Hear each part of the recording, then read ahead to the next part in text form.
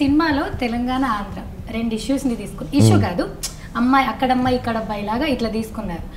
మా దీనికి రిలేటెడ్గా దీని డైలాగులు ఉన్నాయి? వాళ్ళకి రిలేటెడ్గా వాళ్ళ ఆచారం వాళ్ళ ఫుడ్ చూపించేది ఉంది. ఎక్కడ కూడా ఒక నెగిటివ్ మార్క్ రాకుండా ఒక కాంట్రవర్సీ రాకుండా అంత అద్భుతంగా డీల్ చేయడానికి మీకు అంటే ఏమన్నా ప్రతిసారి చెక్ చేసుకున్నారా? వీళ్ళు అనొద్దు వాళ్ళు టార్గెట్ చేస్తారు వీళ్ళు అనొద్దు వీళ్ళు టార్గెట్ చేస్తారు అని. లైక్ ఒక డైలాగ్ ఉంది మేము తెలంగాణ వాళ్ళం మాకు మటన్తో మర్యాద ఆ, మర్యాద ఒకటి సరిపోదు మటన్ కావాలని. మ్మ్. సో వాళ్ళేమో మర్యాద మనకేమో నాన్ వెజ్ ఇట్లాంటి రాసేటప్పుడు మీ నోటితో వలిగేటప్పుడు ఎక్కడన్నా భయం అయిందా? భయం కాలేదు ఫస్ట్ ఆఫ్ ఆల్ ఎందుకంటే అది నా నోటితో అనలేదు కాబట్టి.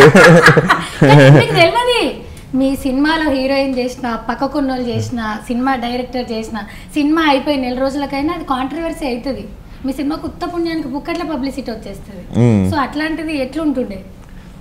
అంటే బాగా ఇప్పుడు ఒక లైన్ ఉంటుంది కదా ఆ లైన్ దాటకుండానే ఉండే ఎంతవరకు కామెడీ ఉన్నా ఈ ప్రాంతీయ భావం గురించి ఉన్నా కూడా ఇప్పుడు వెన్నెల కిషోర్ ట్రాక్ వచ్చినా కూడా అరే తెలంగాణ వాళ్ళు అంత దూరం నుండి వచ్చిర్రు. వా- వాళ్ళు వచ్చిర్రు వాళ్ళ వాళ్ళు మన మన వాళ్ళని వాళ్ళు ఎట్లా చూసుకుంటారు?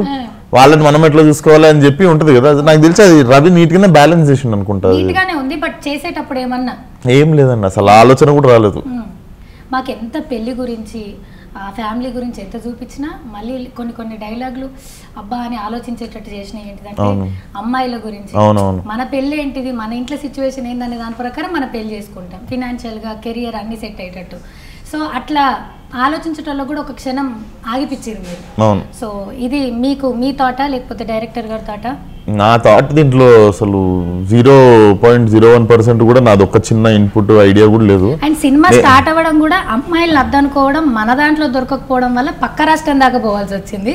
రేపు పొద్దున అమ్మాయిలను అద్దనుకుంటే వేరే దేశం దాటుతాం అనేది కూడా ఉంది సో స్టార్టింగ్ లైన్ నుంచి అది కనిపించకపోయినా. మీరు మీరు నోటితో చెప్పినప్పుడు అప్పుడు రిజిస్టర్ అవుతుంది. అవును కదా ఇప్పుడు ఈ అబ్బాయి ఎందుకు వెళ్ళిండు అక్కడ దాకా? అమ్మాయి లేకనే కదా అని. మళ్ళా ఒక దిక్కేమో అమ్మాయి పుడితేనేమో ముఖం మాడు బాధపడతాడు. ముఖం మాడుస్తుంటాడు. వాడు వాడు అంటది. Okay okay. సో అది ఆ పాయింట్స్ కొంచెం అంటే మనం పెద్ద క్లాసులు వీకినట్టు కూడా ఉండవు. అంటే రెండు మూడు పేజీలు క్లాసులు వీకిన ఎఫెక్ట్ ఒక డైలాగ్లో రాసేసిండు రవి.